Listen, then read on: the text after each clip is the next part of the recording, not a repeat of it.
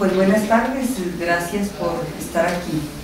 Yo soy María Concepción Franco Rosales, trabajé hasta el pasado agosto en la Escuela Normal del Estado de Chihuahua que lleva el nombre del biografiado y bueno, actualmente soy maestra jubilada, formo parte de una asociación que se llama Asociación de Egresados y Exdocentes de la Benemérita Escuela Normal del Estado de Chihuahua. Presentar la biografía del profesor Luis Uriel Belterray fue posible debido a que pude consultar archivos diversos. Primero el de la propia escuela normal, el archivo de la Universidad Autónoma de Chihuahua, sobre todo la primera etapa en la vida del profesor, la normal formó parte del Instituto Científico y Literario, entonces desde 1900 7 a 1937 los documentos se encuentran en este archivo. Rastreando pude encontrar los archivos de la familia, que fueron tan amables en facilitármelo, y también rastreando en el archivo de la Secretaría de Educación Pública me pudieron dar las copias del expediente laboral en la época que fue maestro federalizado. Él fue alumno también de Chapingo, y también a través de contactos pude encontrar el expediente como estudiante en, dicha institución. El profesor Urias, es tan amable, nace en la ciudad de Chihuahua el 22 de julio de, de 1907. Fue registrado con el nombre de Luis Jesús, sin embargo siempre en todos los documentos aparece como Luis Urias y todo el mundo lo conoce como Luis Urias. Para mí fue una novedad en este documento encontrar el nombre de, de eh, la siguiente. Él cursó su educación primaria en dos escuelas importantes en la ciudad de Chihuahua. La José María Mercado, que fue una escuela modelo que sigue siendo la escuela modelo, y la escuela José María Mari. Esta es una copia de un documento que se encuentra, se encuentra en el archivo del expediente de Chapín. Eh, termina pues la primaria e ingresa al Instituto Científico y Literario, ahí a cursar la secundaria, estudios que interrumpe, pues visitaron la ciudad de Chihuahua maestros de Chapingo para invitarlos a cursar estudios como ingenieros. En el caso de él, estudió como ingeniero forestal y bueno, ahí estuvo hasta 1926 que él se graduó. Regresa al terruño, dicen algunos que han estudiado o han seguido la vida del profesor, que era más fuerte la vocación hacia el magisterio que la carrera que había cursado. Entonces llega, se incorpora otra vez al instituto científico, termina los estudios, le revalidan aquellas materias, sobre todo de secundaria de carácter general, y al mismo tiempo en que es alumno ya del ciclo profesional, es invitado para que atienda la cátedra de botánica. Algo inusual, el profesor había tenido ya ingeniero y por lo tanto su director, don Luis Estadillo, pues vio en, el profesor Urias, nosotros seguimos diciendo así, en el maestro Urias, pues a la persona con la capacidad para atender, atender esta cátedra a los estudiantes de secundaria. Eh, bueno, de regreso, repito, puede puede revalidar, se graduó en 1929 y al mismo tiempo que era maestro, era, era estudiante, era maestro. Si pasan al siguiente, por favor. Y bueno, hubo una serie de actividades ricas en cuanto a experiencias, la política no le fue ajena. Entonces él trata de, de formar una sociedad de alumnos en el seno del Instituto Científico y Literario y tienen dificultades porque en el instituto estaba el círculo fraternal del instituto científico, en varias ocasiones lo plantean, eh, dan a conocer la mesa directiva de, esa naciente este, sociedad, sociedad de alumnos, pero este, les dicen que no es posible. Pasan los meses y finalmente aceptan que existan, coexistan las dos sociedades, la del Instituto Científico y Literario, que era el Círculo Fraternal, y la de la normal, pero todos este, formaban parte de, este círculo fraternal del instituto. Bueno, él eh, se gradúa en 1929 como profesor, pero aquí es donde les narro que todavía era alumno y seguía trabajando, empezaba a trabajar como, como profesor.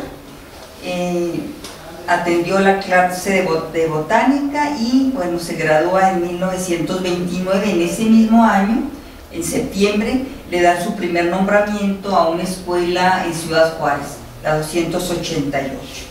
En esa escuela dura poco tiempo, meses, porque es invitado por uno de los funcionarios de educación para atender una escuela en una comunidad que se llama Rosales el maestro Manuel Aguilar Sáenz era originario de esa comunidad y quería un maestro bueno para atender a la escuela y llama al profesor para, para atender esa escuela primaria.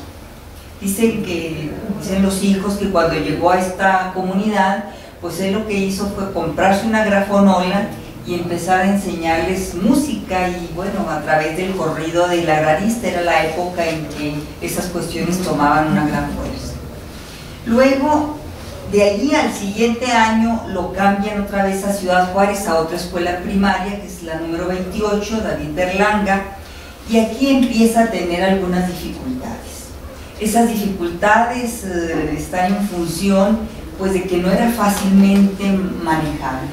Era un hombre que tenía convicciones, que tenía este, un conocimiento pues, profundo de cuestiones metodológicas y lo querían hacer que siguiera al pie de la letra las, eh, las normas desde la SEP y él pues, bueno, todavía era, sí, ya era SEP en esa época. Entonces, le al hacer el, la evaluación de fin de curso hay una nota en, en las hojas que llenan en donde dice eso, que aunque es muy trabajador, tiene sus ideas muy especiales en lo que respecta a obediencia. No era fácilmente. Y seguía exclusivamente por sus ideas, haciendo caso omiso de órdenes superiores. No seguía en el trabajo por los programas oficiales y desarrolla actividades que, que su criterio dicta, que son las más apropiadas. El siguiente año escolar vuelven a hacerle la evaluación de su desempeño y hay una nueva nota. Esa nota dice que aunque posee conocimientos, no acepta la técnica general de la enseñanza y enseña su humor. No cumple con las comisiones que se le encomiendan fuera de su labor en el salón de clase y el inspector pide que lo cambie, que lo envíen a la ciudad de Chihuahua en donde esté siendo vigilado por las autoridades que a lo mejor le pueden sacar provecho a todo lo que él sabe. Y yo creo que conocían algo al profesor porque lo cambian a la ciudad de Chihuahua y lo cambian a una escuela experimental. Él llega este, junto con un equipo de profesores, atienden esa escuela experimental en donde bueno, pues pueden trabajar con la escuela activa, con proyectos y efectivamente es un hombre innovador. Entonces yo digo que a partir de todos los documentos que posterior a, a esas dos notas que le pusieron, encontrado y por lo que lo conocimos, bueno, pues fue un hombre muy productivo. Y yo digo que el cambio pudo, sí, efectivamente fue de beneficio no solo para el profesor Urias, yo digo que para la educación en Chihuahua, puesto que con el tiempo todas esas ideas coronaron en importantes aportaciones pedagógicas a la educación de nuestra entidad. La siguiente, si es tan amable. Bueno, en 1933 viene a otra escuela, que es de escuela primero de mayo, también era una escuela experimental. Pero al mismo tiempo empezó a trabajar nuevamente en el Instituto Científico atendiendo las clases de psicología. Dicen sus hijos que es precisamente en la psicología donde desarrolló sus más importantes trabajos. Fue, además de maestro del del instituto, de la normal, que formaba todavía parte del instituto, fue el subdirector de, la normal, repito, esta era parte del instituto científico.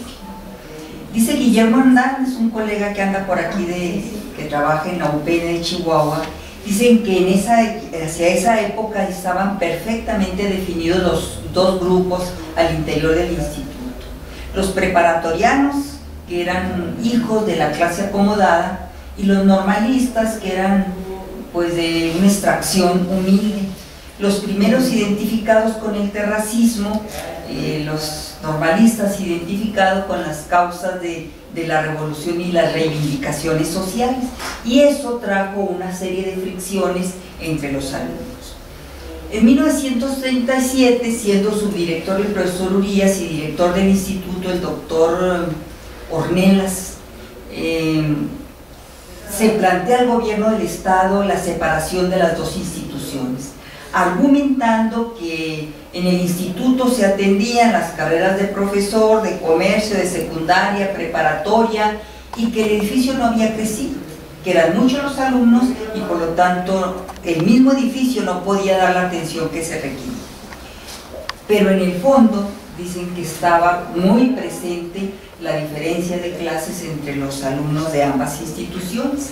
Y en 1937 se separan ambas instituciones, la normal empieza a tener vida propia y su primer director fue precisamente el profesor Luis Urias Valderrama, su primer director en la vida independiente. Duró como director hasta 1948, el gobierno le pide su renuncia, hubo huelga por parte de los estudiantes, el gobernador le pide que continúe en la dirección de la escuela, dice no.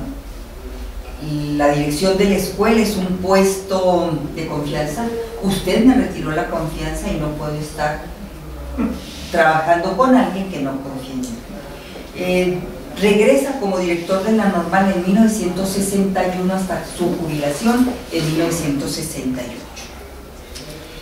Bueno, para ser director de la normal, los reglamentos decían que debían tener tres características, tres requisitos. Tener antecedentes científicos, ser de reconocida ideología socialista y haber realizado alguna obra en favor del proletariado. Yo digo que el primero Congreso lo cumplió. Fue este, autor de un método para enseñar a leer, de una prueba de madurez, de muchas cosas que si me alcanza el tiempo se los comentaré. Eh, de reconocida ideología socialista, sí hay documentos en el archivo en donde habla de la adhesión de él al gobierno de Cárdenas y lo último no lo he comprobado, pero infiero que también ha realizado algo. Sí, había una, una escuela que era para trabajadores de las empresas mineras en Chihuahua y bueno, pues casi de a gratis daban clases a los trabajadores. A lo mejor esa puede ser la obra en favor del proyecto.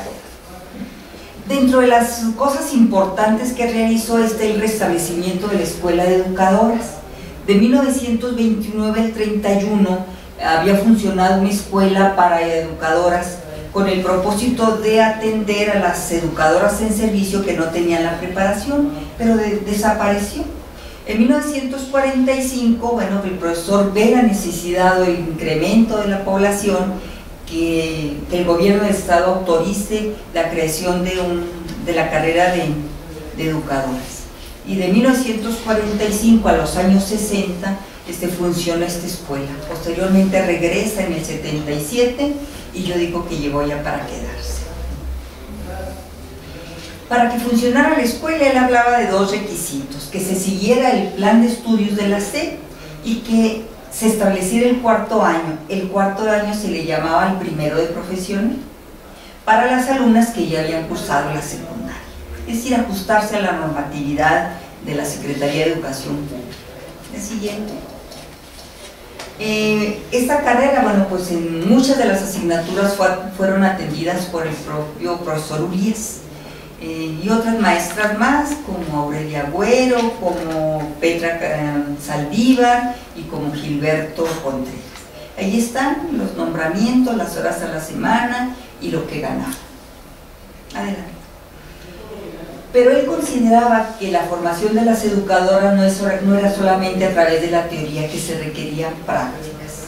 La escuela no tenía su jardín anexo ni su escuela primaria anexa, porque cuando se separa del instituto ocupa el edificio de la, primaria anexa, entonces no hay escuela donde practicar, entonces empieza a gestionar que un jardín de niños en Estefanía Castañeda se convierta en un jardín de niños de práctica dependiendo de la propia escuela normal. Creo que fue el mérito de esta época.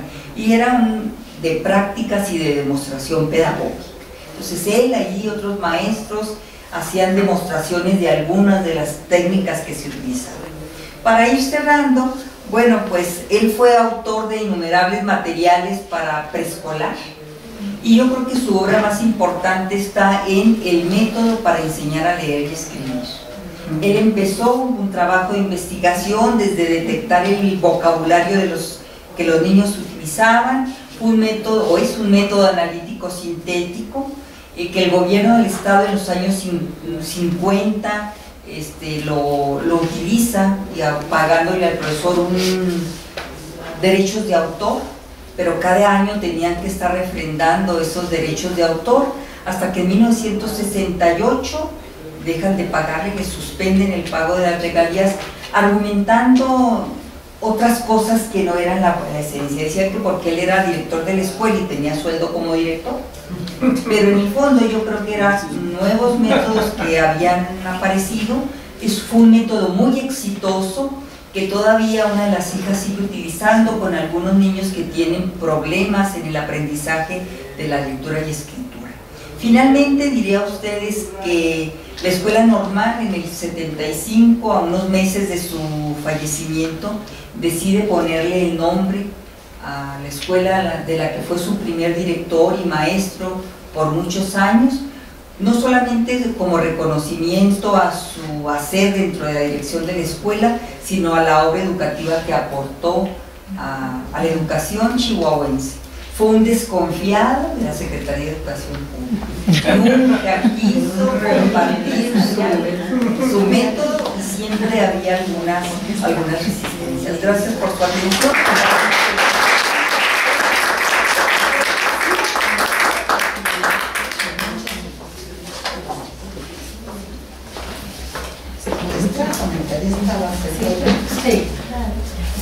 Sí bueno, Maricarmen es una servidora, eh, dimos lectura a este trabajo que nos, presenta Conchita sobre el ingeniero Luis Urias y sobresalen varias cosas, ¿no? Este, a nosotros nos, nos gustó y apreciamos, creo que, como gente que pretende hacer investigación histórica, el que Conchita haya acudido a, diversos tipos de fuentes y que haya hecho uso de la entrevista, porque vemos que aparecen ahí unas familiares de, ser hijas o nietas, ¿verdad? De Luis Urias. Este, la entrevista a profundidad pues conlleva ahí pues, mucha paciencia y mucha, ¿cómo podríamos decir? Mucho tacto para con las personas con las que se entrevista, porque puede salir información que sí gusta, pero también otra que no tanto, ¿verdad? Eh, del trabajo también sobresale esta formación ingenieril que tuvo Luis Urias y que lo hace ser también una persona sistemática, metódica, que acude al saber científico, comparte con, en este sentido con Miguel F. Martínez, que, que es nuestro personaje biografiado ese, ese espíritu racionalista, ¿no? Eh, y, como ingeniero forestal, entonces vemos que, que él traslada es, todo ese espíritu científico al ámbito educativo para poder derivar este método integral para la lectura y la escritura y esta prueba que, que estandarizó, ¿no?